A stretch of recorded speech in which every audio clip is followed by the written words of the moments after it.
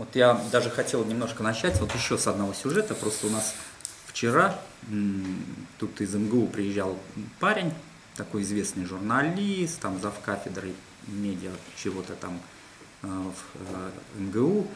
И он там с таким удовольствием начал рассказывать, что сейчас опять идеи Вернадского про ноосферу каким-то образом начинают оживать, что вот это информационное пространство, которое дает возможности создать вот эти места хранения там, любой информации, то есть, в принципе, а, там, любую статью, любой дипломный проект, все это можно занести в базы данных, и они становятся в доступе полном. То есть, ну, в общем-то, бесконечная возможность для э, развития знания. То есть знание сейчас как бы становится открытым, но он-то его пафосная идея была в том, что оно как раз сейчас очень хаотично и очень а, не очень сбалансированно представлено в интернете, и поэтому люди, собственно говоря, превращаются в таких вот поверхностных, ну мы уже говорили, в поверхностных а, потребителей знаний, и для них знание это просто поток информации, в котором они даже не успевают каким-то образом что-либо слепить, и уже э, даже личность как таковая отсутствует, а есть такая, как он сказал, волновая функция. То есть люди пребывают в неком волнении по поводу текущего информационного процесса. Информационного процесса, причем он это называл там, что это как бы новая стадия развития. Но на самом деле я вот послушал, послушал и понял, что ну, вот люди не понимают совершенно простых таких вот сюжетных линий. Что количество информации ничего не добавляет к знанию. Знание это вообще не об этом. То есть вот чем знание отличается от информированности? Вопрос такой. Ну, голова может быть хорошо устроена и хорошо наполнена. Да. То есть если она хорошо устроена, то в принципе это вот как таковые знания. Да. Больше ничего не нужно. Совершенно верно. А лишнее наполнение Правильно. То есть, а, в принципе, э, обучение, оно должно действительно делать вот это, уметь у человека создать устройство головы, чтобы оно само могло работать с сознанием. Причем даже еще лучше бы, чтобы оно само из себя знания могло извлекать, как говорили древние философы, он Гераклит говорил. Я сам от себя научился, э, не следовал никакому авторитету. Действительно, те люди, которые продуцируют знания, они потому его продуцируют, что не повторяют кого-то, а создают генерируют. Некую, да, генерируют собственную идею или собственно. И вот спрашивается, что произошло вот с этим знанием там в истории э, там, последних там ну нескольких тысячелетий. А произошла ужасная трагическая ситуация. Дело в том, что вот еще Платон говорил, что э, знание умерло, когда появились книги. Хотя многие говорят, книга – источник знания. Ну, горький такой афоризм в школе всем. Любите книгу – источник знания. А Платон говорил, что с появлением книг знание умерло. Знание существовало только тогда, когда вот учитель ученику передавал какой-то свой опыт, причем он это делал, наблюдая за этим учеником, понимая, что он его может воспринять, это, этот опыт, да, он сейчас к этому готов, сейчас у него есть какие-то ну скажем, настройки, которые э, способны. И тогда он то, что нужно вот в этот момент, он ему и передавал. Таким образом, даже не столько передавал, сколько он видел, как в человеке открыть вот эти ресурсы, чтобы он сам становился знающим. То есть учитель, в принципе, его основная задача была в древности, передавая устную традицию, на самом деле не передавать информацию, а открывать в человеке... Навыки. Да, то же самое, то есть, чтобы он следующим учителем становился. А когда книга появилась, то теперь любой балбес может взять эту книгу, в каком он состоянии находится, готов он ее воспринимать, начитаться ее, как-то это у него там уложится, и затем их повторять, эти сюжеты. И таким образом, вот, к сожалению, вот действительно философия, вот весь 20, вплоть до 20 века, она постепенно умирала, умирала, умирала, умирала, потому что вместо философии преподавали историю философии, например, в университетах где людей просто учили читать философов и разговаривать на темы, которые они прочитали. И большинство философских трактатов это просто цитаты из других каких-то вот философов. Как говорил еще там Хайдегер, такой был известный немецкий философ, что философия умерла вот именно после Платона, и вся остальная история философии это это всего лишь цитирование Платона.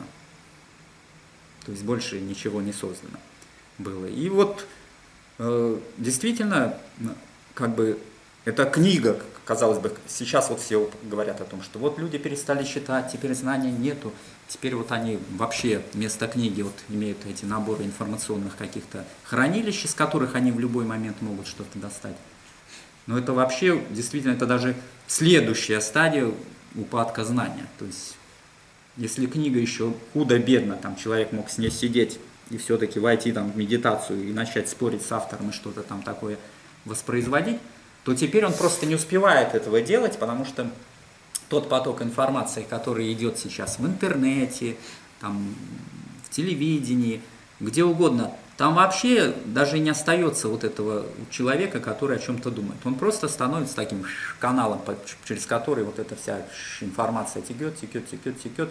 То есть личности даже сформироваться не может. Вот действительно прав вот этот парень, который говорил, что люди превратились уже из людей в волну, то есть некая волновая функция, которая там занимается определенным сектором экономики, там, бизнеса, там, я не знаю, образования там, или еще что-то. Там люди просто как некие такие сгустки энергии трепыхаются, а как такового знания-то в каждом человеке нету, и оно невозможно, потому что что можно... Я вот помню, когда появился сканер в начале, вот, я как бы прошел все этапы развития вот этих информационных технологий. У меня уже в 94 году был индивидуальный PC, Pentium 386 за полторы тысячи долларов. А в то время это автомобиль можно было купить.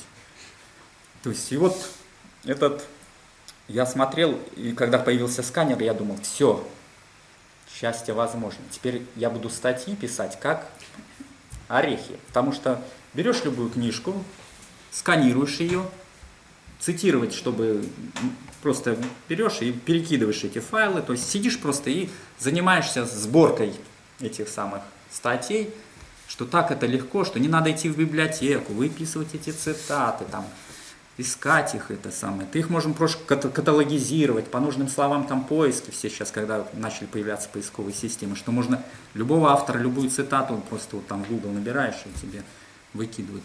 Все, счастье. В итоге? В итоге я ничего не, пи- ничего не пишу и вообще писать даже уже смысла никакого не вижу, потому что это билиберда полная.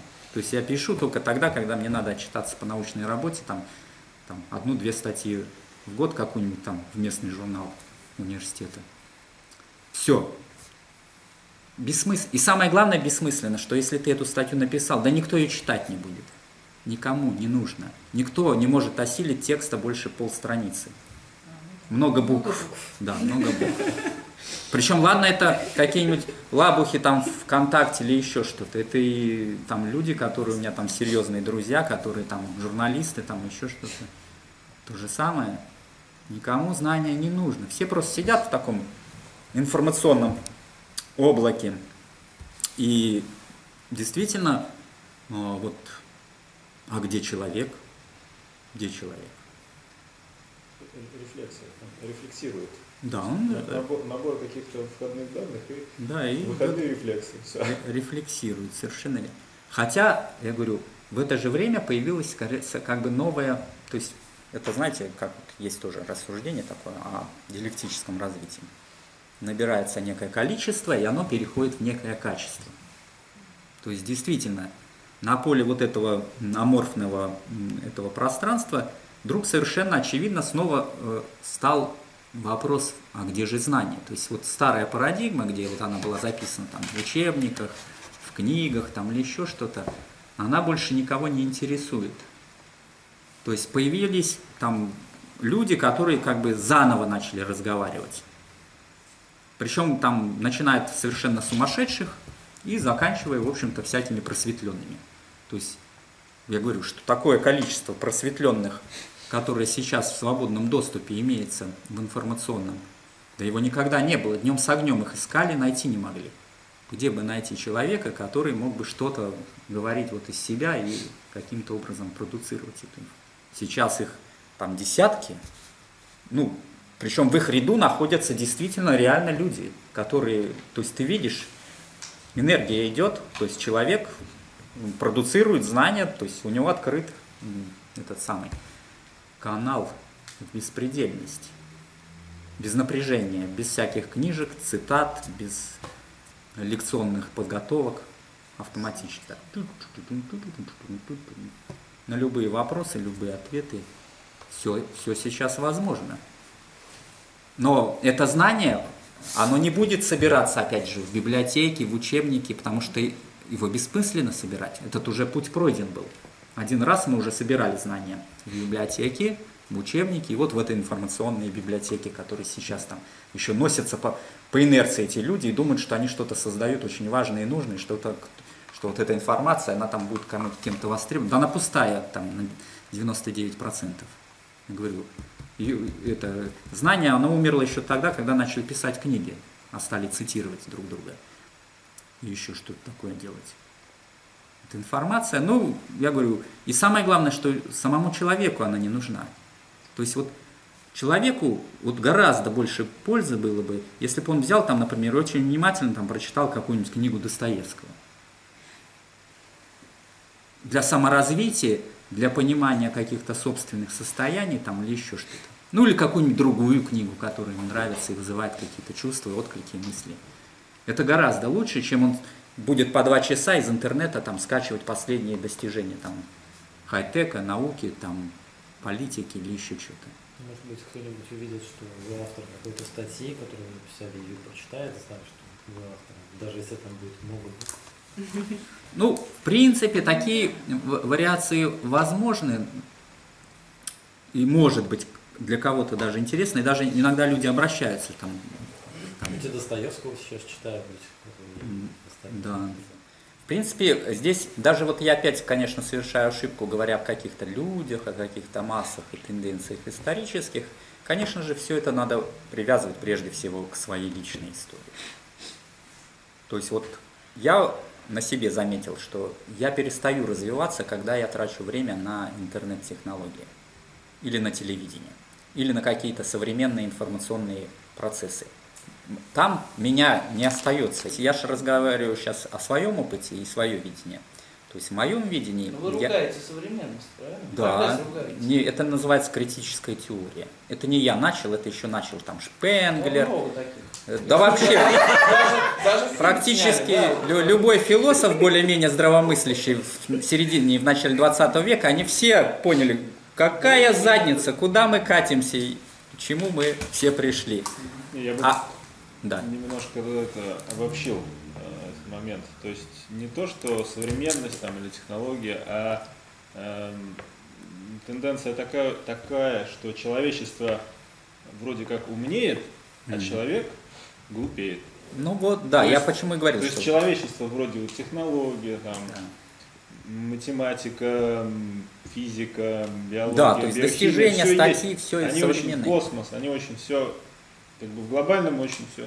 А вот так гнешь пальцем на человека, ну, ты, ноль, ты, ноль. Знание а, э, берется.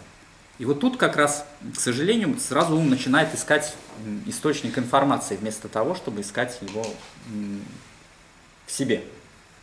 Правильно? Даже вот узнать о том... А как генерируется знание? Да, как генерируется знание. Пойдем-ка мы вот почитаем такие-то книги или там сходим к такому-то человеку, может быть, он что-нибудь расскажет. Понятно, да? И обычно те, кто рассказывают, там в телевизоре и в интернете, из этого рассказа вот ну никак не генерируют. Они просто отсылают к следующему знанию, к следующему знанию, к следующему знанию, и человек потек, потек, потек, и вот он уже не замечает, как там большая часть жизни прошла, а он так и, и не открыл в себе источник знания. А все даже наоборот, чем дальше, тем у него этот источник все глуше, глуше, глуше, глуше. А где вот этот источник? Творить надо. Творить. Источник знания это когда ты творишь, когда ты делаешь то, чего не было. Да. Тогда ты создаешь. Да. Когда ты что-то ищешь, пытаешься найти, прочитать, услышать, увидеть, ты копируешь да. Но дело в том, что вот это э, творить, оно привело к появлению такого феномена, как современное искусство. Что там, чем ты сильнее выпендришься, вот основная задача это сделать какой-то такой... Да, что-то как-то вот выпендриться так, чтобы другие этого вот еще не делали до этого. Я говорю, есть даже кино такое, Такеши Китана там играет от этого художника, который хочет угнаться за вот новым направлением в искусстве, а все время не успевает. Мне интересно, а вот новое искусство и современное, как вы сказали, mm-hmm. и несовременное. Несовременное значит подражание, а современное это значит что-то новое, да? Да. Попытки, попытки да. думать что-то новое. Ну, да. просто я для себя так отметил. Ну, нет, это искусство вообще, его феномен такой, что когда человек занимается искусством, он творит, вот как правильно сказал. А раз творит, значит должен создавать нечто новое, а значит не идти в конве в каком-то старом. Не обязательно, не обязательно новое, не обязательно ну, точнее, того, что не было. Ты можешь сотворить табурет, ты можешь сотворить Точно. стол, ты можешь сотворить то, чего не было. Ты создаешь. Вот, вот, вот как раз, значит, создаешь. оказывается, это не вещь, которой не было, а некое состояние твое в этой вещи, которого не было. Этой вещи не было, стола не было, который я сделал. Нет, если ты стол сделал по модели, которую сделал кто-то. Без это... модели. Я не было стола, я взял да. его и сделал. Ты можешь сделать вот стол так. такого, которого не было. Да. Вот, вот это и есть творение. То есть я сотворил то, чего как, не было. Как выглядит? Если он на четырех ногах и плоскую поверхность имеет, такое было. Ну-ка расскажи про стол, он которого не было. не плоский. Точно. И на одной ноге. Такой тоже стол был. И без ног. И без ног.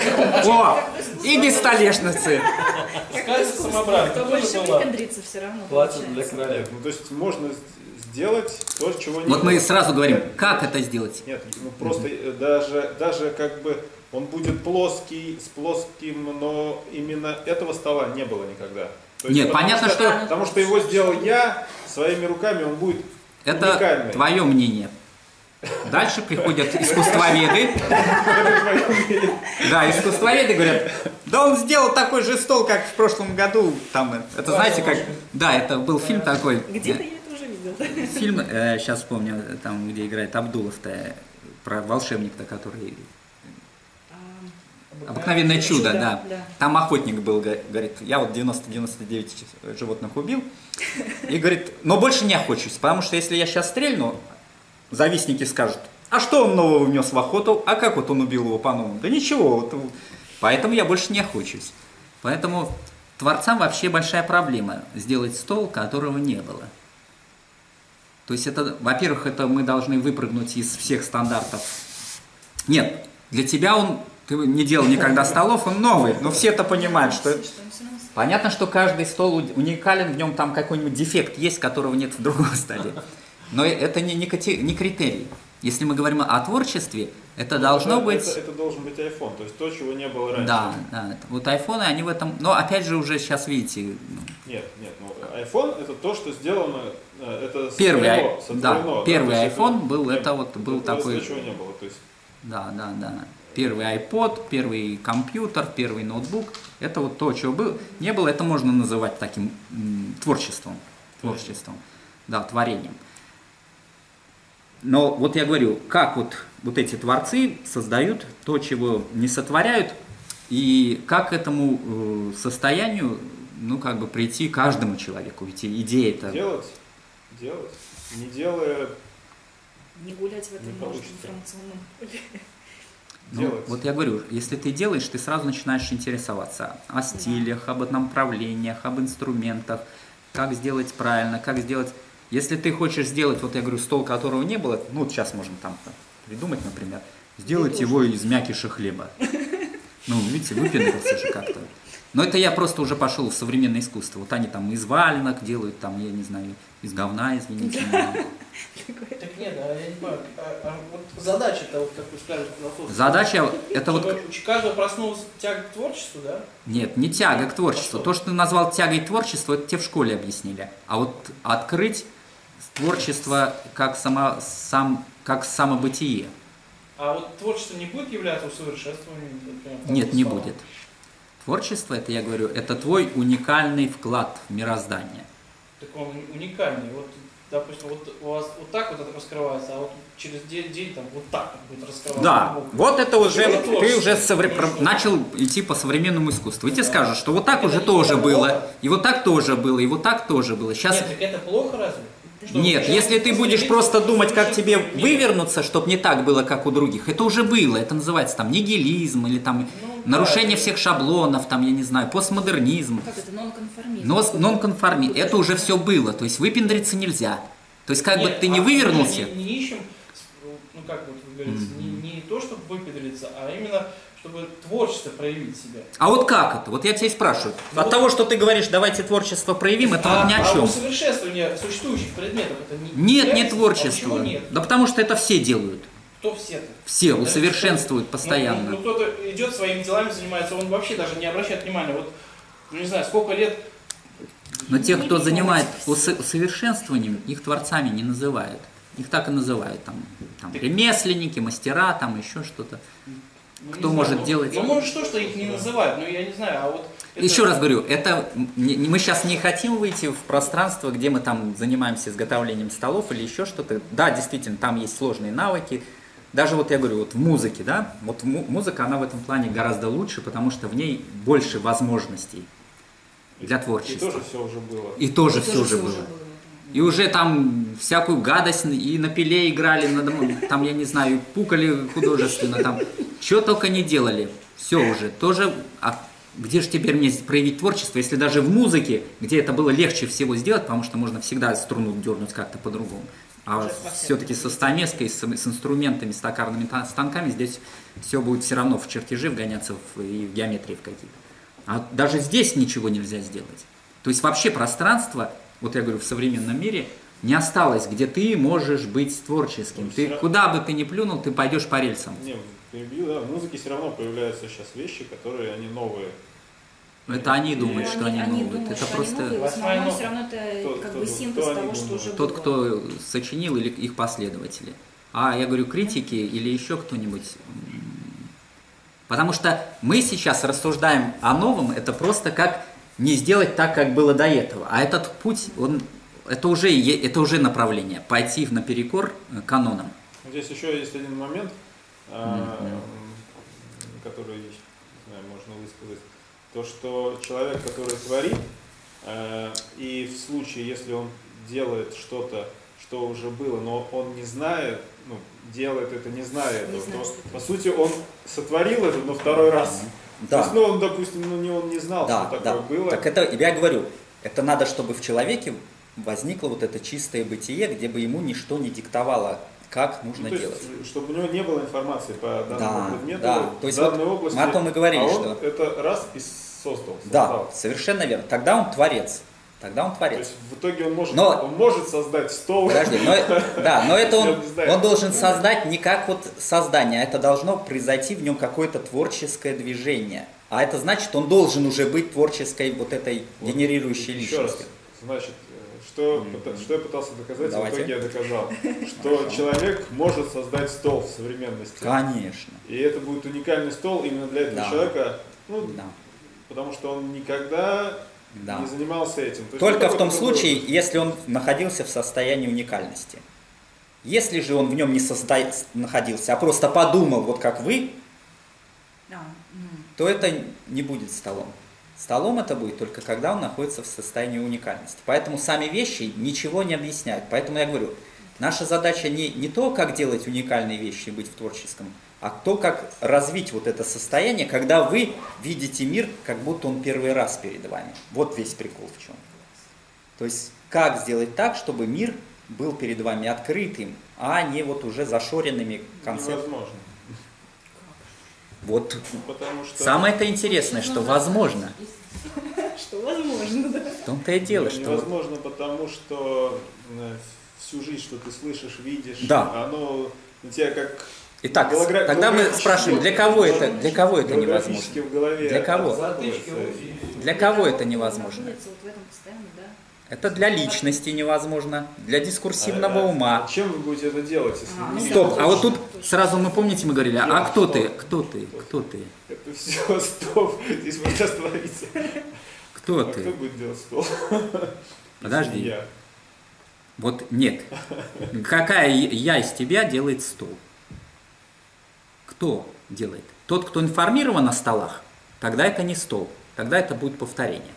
Тот, кто стола ни разу не видел и не слышал, есть в тебе такой, Нет. кто не знает о столах? Нет. Ну как же нету? Нету. Нет. Потому Ну, что голографически все Голографически, это ты сейчас, друг на друга, у тебя есть такой я товарищ? Не, я не могу, я не ага. могу вот это убрать и Можешь, в том-то и дело, что можешь. Весь прикол, это как раз как это сделать. Что сейчас задача-то не, не, не вот войти вот в этот голографический мир, где все уже там структурированно себя повторять. Потому что о голографическом мире ты мыслишь своим умом. Нет, это ум тебя, подожди, подожди, это ум удерживает некую историю о голографическом мире и все вот эти истории о творчестве, нетворчестве и всех остальных прочих. Пока ты это делаешь умом, ты никогда не сделаешь творческое действие. Значит,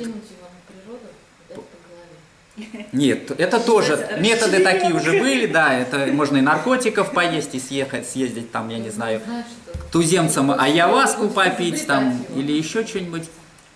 Здесь вопрос такой, что если в тебе некто, кто не встроен вот в эту систему, э, в которой все вещи каким-то образом определены и названы, и э, там научно обоснованы, или же ты это и есть вот тот, кто повторяет вот эти, тогда ты все, ты находишься вот в этой матрице, и ты только повторятель, и никакого творчества ты не сделаешь, даже если ты будешь об этом говорить и думать, что ты творческий человек.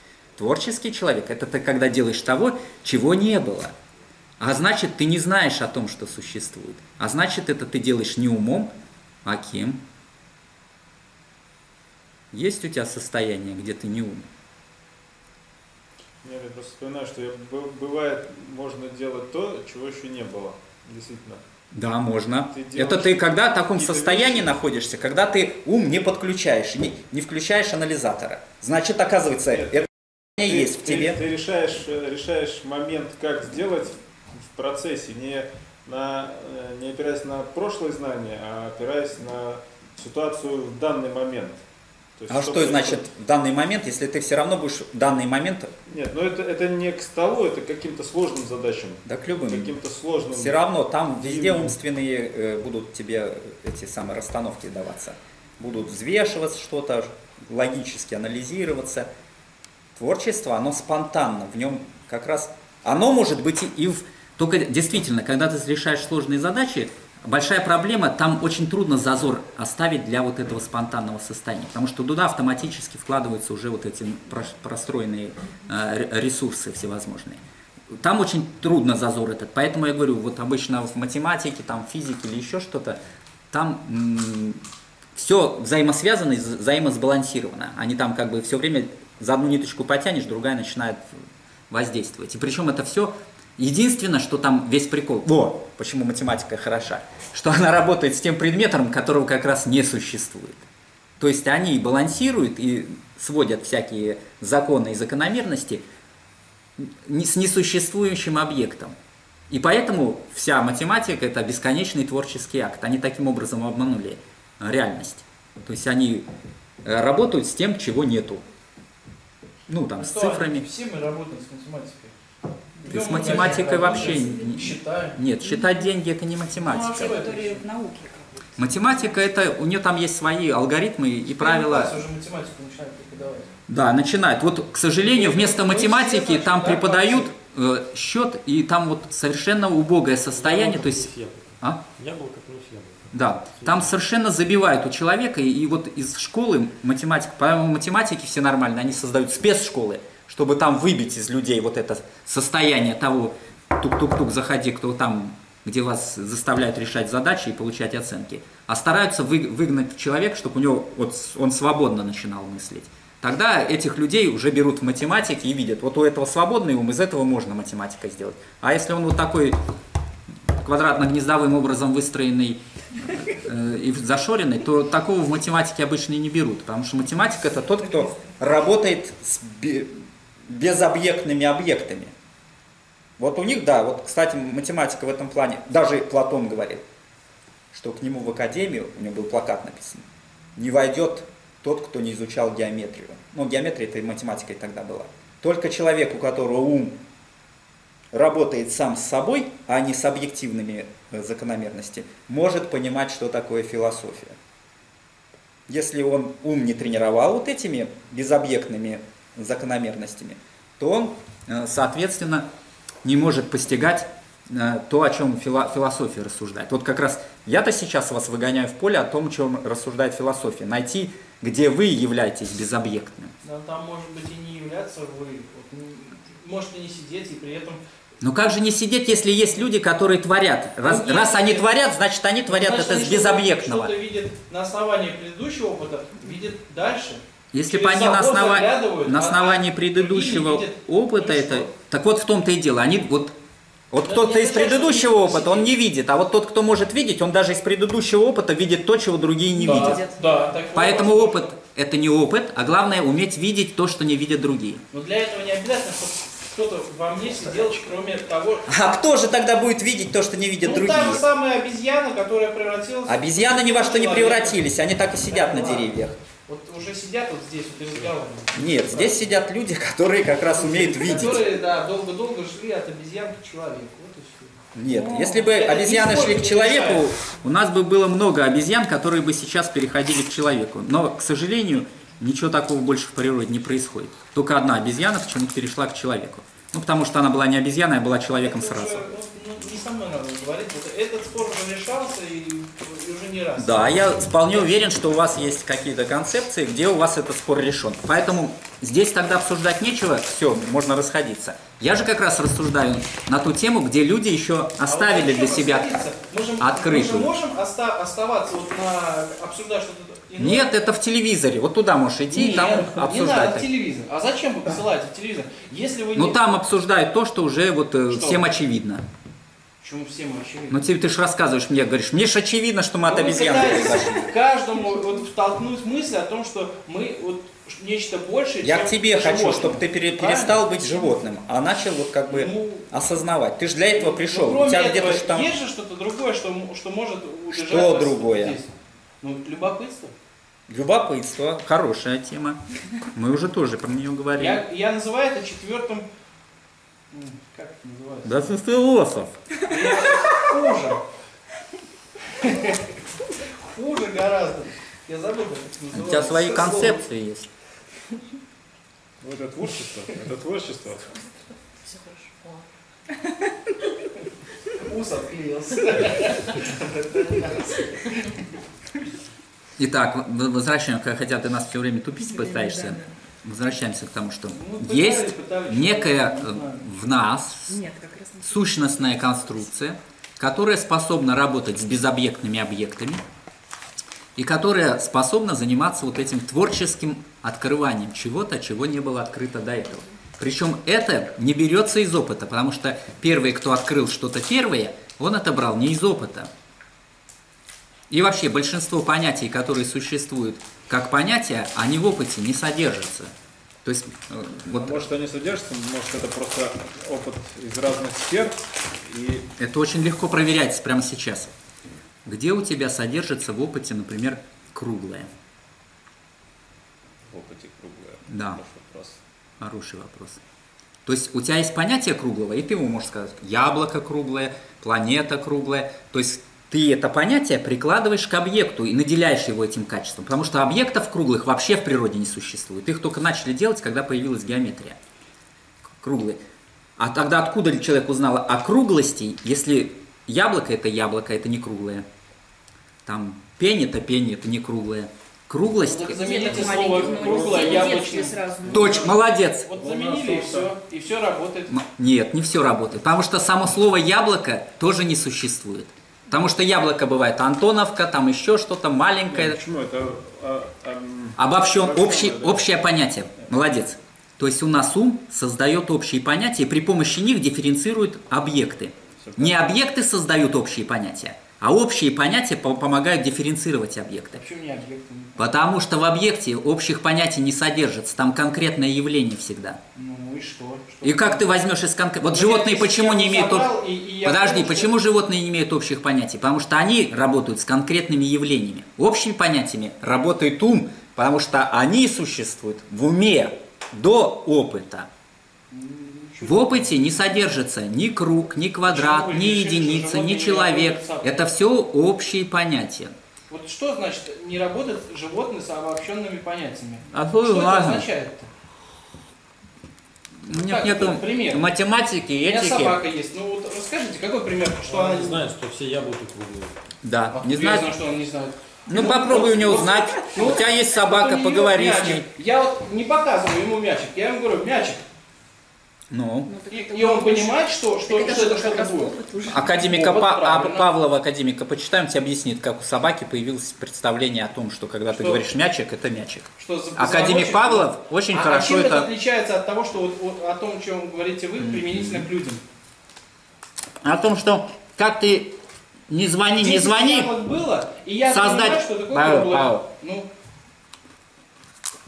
на 11 Как ты не вырабатывай рефлекс, так никакого у тебя не возникнет понятия, которого не существует в реальности из рефлексов. Не, не а у человека эти все понятия весь мир так описывают. Как? Вот так. Это человек, это круглое, это квадратное, это плоское. Любое слово, оно не существует в реальности, это понятие. Причем оно общее понятие. Ни одного был такой Вингенштейн, Бертран Рассел, которые пытались найти атомы в языке и понять, какие слова несут самое чистое понятие. Не нашли. Нету понятий, которые бы сами себе были равны, как э, реальные объекты. Все понятия являются обобщенными. И вот все, что вот ты называешь человек, стул, это даже не конкретный предмет, потому что я говорю, вот, вот мы про стол правильно говорим. Каждый стол уникален, в нем есть маленький дефект который его выделяет. Но мы его называем столом. Круглый он на одной ножке, на четырех. Это все понятие стол. У нас есть понятие столов на трех ножках. Но на трех ножках тоже нету столов таких. Это все разные столы. Все явления всегда уни... Каждое явление единично. Его не существует. А все, что говорит человек, там человек, там небо, земля, атомы, молекулы – это все обобщенные понятия, которые в реальности не существуют, а существуют лишь как некие абстракции ума. Ну, не, не понятия, а предметы. Ну, о предметах мы судим при помощи слов. То есть мы живем, даже вот еще хуже получается, что мы с вами сейчас даже находимся не в реальности, а в том, как мы об этой реальности думаем. Или как нас приучили о ней думать. То есть мы действительно находимся в матрице. Почему это называется сном, там, например, в буддизме? что это такое сновидение, в котором у нас есть понятие для называния чего-то там, что на самом деле, вот скажем, точки зрения науки, существует как энергия. Вот это все энергия. Ну или как в матрице, это циферки, если бы мы сидели. А так это просто энергия, разные состояния энергии. Но мы эту энергию, потому что у нас в уме есть понятие чайника, мы раз, хоп, ее визуализировали. И даже у нас в мозгу есть такой центр, который эту картинку воспроизводит не как движение энергии, а как вот некое привязанное. Потому что если бы у меня не было понятия с, с этого самого а, вот чайника, я бы чайник не видел. Я мог видеть все, что угодно. На что похож? Например, я думал бы, что это такая птичка. Ну, похож на птички, носик там что-то. Я бы даже не... У меня даже не возникало никакой вибрации, связанной с что-то это чайник. То есть по, о чайнике я знаю только потому, что у меня есть некая обобщенная... Причем в самом чайнике это понятие не содержится, потому что мы уже говорили, все чайники уникальны. То есть у нас есть... Не просто у нас, это ум, он так и состоит. Ум, он сам себе нагородил при помощи своих понятий некое представление об уме, об человеке, о возможностях творчества. Это, Иметь... об на самом деле все проще. Проще? Чуть-чуть проще. Вообще просто. Это все. распознавание образов, основанное на Э, действие нейронной сети. Нейронная сеть нейронная на чем основана? Очень быстренько, быстренько. Подожди, чтобы нейронная сеть опознала, у нее должен быть прообраз? Да. Она, а вот как он появился? Она, она вот про ну, образ, один раз ты что-то увидел, этот, э, допустим. А откуда она знает, что ты это увидел, если прообраза нету? Да, нет, я про это... Подожди, первый образ. Чтобы появился первый образ, первый должен образ быть прообраз. Свет. свет. Нет, чтобы распознать что-то, да, надо с чем-то сравнивать. Нет, оно распо... вот животные, они все распознают, но у них ни для чего нет образов, потому что у них нету, а нейронная сеть есть. Это что значит они распознают, но у них нет образов? Нет образов. А, у них нет образа что, Чайника. Что они распознают? Мяч. Ой, что значит они распознают? Распознают. Она один раз увидела объект. Нет, они реагируют. Можно есть, нельзя есть. И Опасность есть, нет опасности. Второй раз оно, этот объект да? уже рисует, что это. это нет, она его не рисует, она просто за, заложила. Опасность, не опасность. А вот мы объект, его рисуем. Объект она идентифицирует как второй раз... Как... Она идентифицирует его на основе своего инстинкта, а мы его идентифицируем. Мы про инстинкты говорим или про того, что э, видит э, чайник О, или не видит? инстинкт, видит точно, или не видит? Не видят чайник, потому что у них нету понятия чайника. Они видят только объекты, которые вызывают опасность, не опасность. Можно есть, нельзя есть. Но он не видит. не А видит. чайника он не Чай- видит. Что это чайник не видит. Не да, видит. Какая-то штука черная. Да, какая-то штука черная, и она не опасная. Все. Да. На этом. Всё правильно. А чайник это то, чего не Все существует. правильно, но И нейронная сеть этого создать не может то, чего не существует. Она может работать только с тем, что про существует. образ мы говорим. Про образ. Да, образ это то, чего не существует. Да, образ, образ она видит и. Нет, она не образ видит. Она видит то, что она видит. Формирует образ. Нет. Как она может его сформировать, если его нету? Формируется по подобию. Если образа нету, как ты будешь формировать, если у тебя нету, на что это похоже? Она так и видит. Это черный объект не опасный. Все. Никакого образа не Вот- будет. Вот он и сформировался. Нет, это не образ. Сформировался образ черного Подожди, цвета. это не образ. Это просто есть реакция. Опасно, не опасно. Это не образ. Нет, вот первый раз вижу чайник, смотрю. Ой, в смысле, кружка. Да. Ты, у тебя вот есть вся система, Да. потому что ты знаешь, что такое чайники. Вот и ты формируешь Я не образы. знаю, я вижу какой-то фрукт или что-то первый раз в жизни. Вот я вижу какая-то... Сразу ты говоришь, похоже на яблоко, не на яблоко, похоже на это, не похоже. Еще попробовал, по вкусу похоже. У тебя есть прототипы образов. А если нету прототипа, ты не можешь его увидеть. Ты не... То есть ты видишь что-то, но ты не видишь Я образа. могу идентифицировать Да. это, но видеть-то я вижу. Видел, все. Вижу, да. Я про то. Я про это говорю. Да, но это никакого отношения Я к образу увидеть. не имеет. Нет, Образ это увидеть. то, что ты имеешь как прототип. Я могу увидеть, но не могу обозначить или назвать. Да, не назвать, не Но обозначить. увидеть я могу. Да, есть конечно черная фигня стоит. Даже черная фигня ты не сможешь сказать, потому что для этого нужно понятие черный и фигня. и фигня. Ты просто видишь. Вижу. Все. И дальше ты ничего с этим не делаешь. А человек, он начинает с этим делать. У него начинается... Он, вот в том-то и дело, что как он набрал первых образов, если первые образы, их просто видят, и там ничего нету. А он их вырвал и сделал обобщенными понятиями.